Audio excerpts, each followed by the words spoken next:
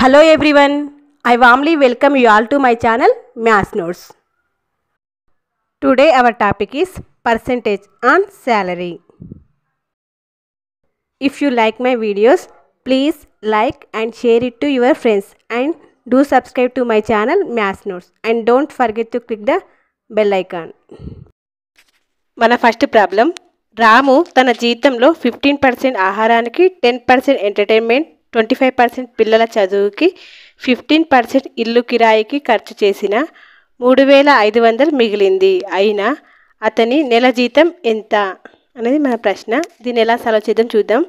First మనము అతని నెల జీతం మొత్తం హండ్రెడ్ పర్సెంట్ అనుకోవాలి. ఈ హండ్రెడ్ పర్సెంట్ నుంచి అతను ఆహారానికి ఎంత ఖర్చు చేస్తుండు? మైనస్ ఫిఫ్టీన్ పర్సెంట్ ఆహారానికి ఖర్చు చేస్తుండు. అలాగే ఎంటర్టైన్మెంట్కి అంటే మైనస్ టెన్ పర్సెంట్. తర్వాత పిల్లల చదువుకి twenty five percent minus twenty five percent. తర్వాత ఇల్లు కిరాయికి fifteen percent minus fifteen percent. అంటే ఈ హండ్రెడ్ పర్సెంట్ల నుంచి ఇవన్నీ మైనస్ చేసామనుకోండి ఎంత వస్తుంది? Fifteen twenty five forty plus one fifteen sixty sixty five. హండ్రెడ్ల నుంచి సిక్స్టీ ఫైవ్ మైనస్ చేస్తే థర్టీ ఫైవ్ పర్సెంట్. ఈ థర్టీ ఫైవ్ పర్సెంట్ అనేది మిగిలింది ఆయనకు ఆయనకు. ఎంత థర్టీ ఫైవ్ పర్సెంట్ అంటే మూడు వేల ఐదు వందలు. అతనికి మిగిలిన థర్టీ ఫైవ్ పర్సెంట్ మూడు వేల ఐదు వందలు. మనకు థర్టీ ఫైవ్ పర్సెంట్ తెలిసినప్పుడు హండ్రెడ్ పర్సెంట్ ఎంతనో తెలియాలి కదా ఇప్పుడు? హండ్రెడ్ పర్సెంట్ ఎంత అనుకుందాము? ఎక్స్ అనుకుందాం అతని నెల జీతం hundred percent hundred percent x అనుకుందాం దీన్ని ఎలా సాల్వ్ చేయొచ్చు? క్రాస్ మల్టిఫై చేద్దాం. క్రాస్ మల్టిఫై చేస్తే వస్తుంది. ఈ ఫస్ట్ ఈ పర్సెంటేజ్ క్యాన్సిల్ చేసుకుందాం. ఇప్పుడు థర్టీ ఫైవ్ ఇంటూ ఎక్స్ ఇది తెలియంది ఎక్స్ కదా మనకు. Thirty five into X is equal thirty five మూడు వేల ఐదు వందలు ఇంటూ హండ్రెడ్. దీన్ని క్యాన్సిల్ చేద్దాం. Thirty five thirty five one జా one one zero. Thirty five zero జా. ఎక్స్ ఈజ్ ఈక్వల్ ఎంత వస్తుంది? Hundred into hundred. Ten thousand వస్తుంది. అంటే రాము యొక్క నెల జీతం ఎంత అవుతుంది? Ten thousand. ఈ విధంగా మనం ప్రశ్నని పూర్తిగా అర్థం చేసుకున్నప్పుడు ఈజీగా సాల్వ్ చేయగలుగుతాం. మన తర్వాతి ప్రశ్న ఏ మరియు బి యొక్క నెలసరి జీతాలు కలిపి రూపాయలు నలభై వేలు ఏ తన జీతంలో ఎనభై ఐదు పర్సెంట్ మరియు బి తన జీతంలో తొంభై ఐదు పర్సెంట్ ఖర్చు చేస్తాడు.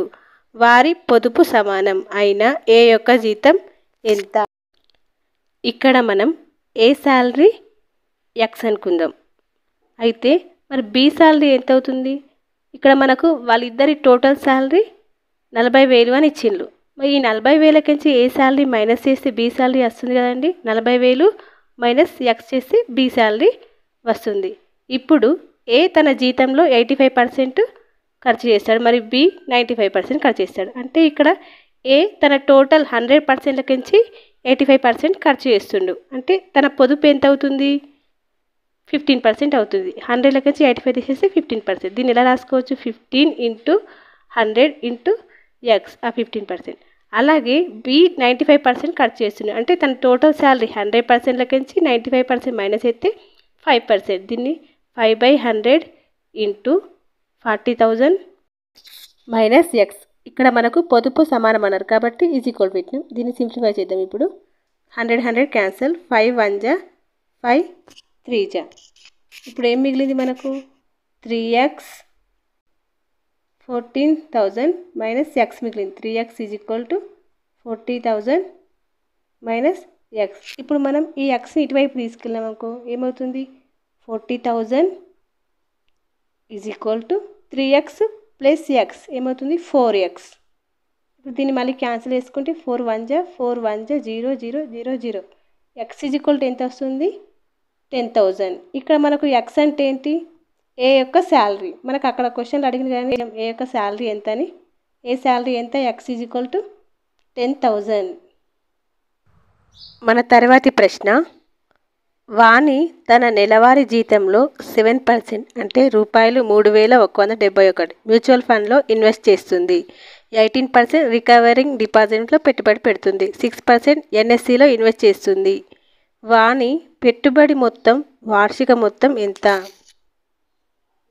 ఈ ప్రాబ్లమ్ని ఎలా సాల్వ్ చేయాలో చూద్దాం. ఇక్కడ ఈ ప్రాబ్లంలో మనకు సెవెన్ పర్సెంట్ ఇచ్చిండ్రు సెవెన్ పర్సెంట్ అంటే మూడు వేల ఒక వంద డెబ్బై ఒకటి అని ఇచ్చిండు.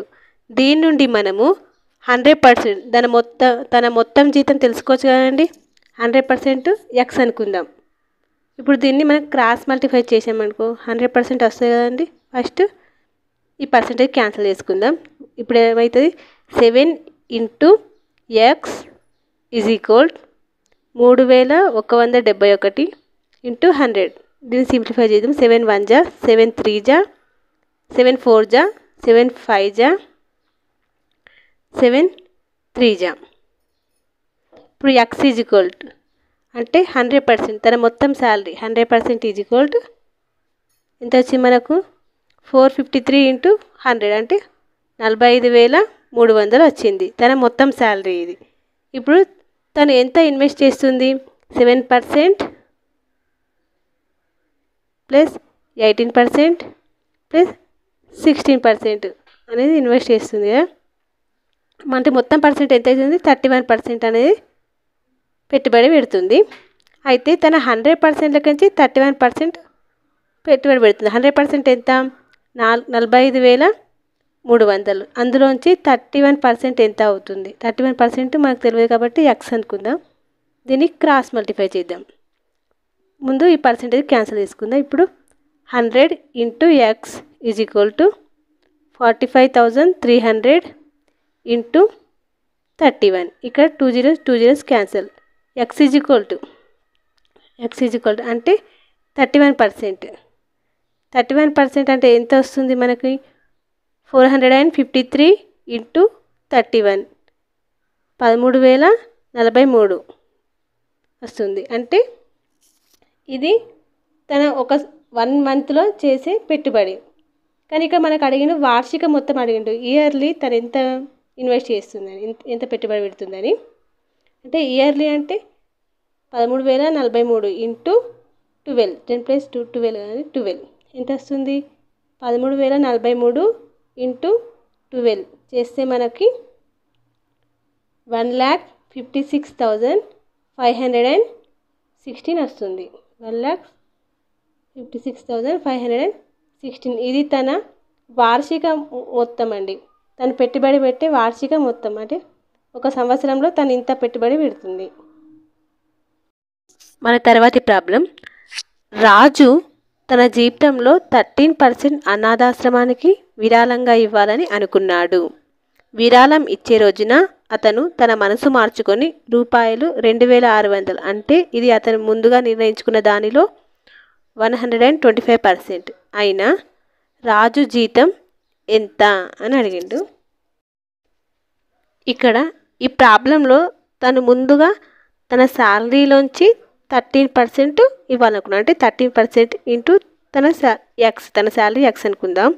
కానీ తర్వాత ఏం ఇచ్చిండు ఆ థర్టీన్ పర్సెంట్లోంచి వన్ ట్వంటీ ఫైవ్ పర్సెంట్ అంటే one twenty five percent of thirteen percent.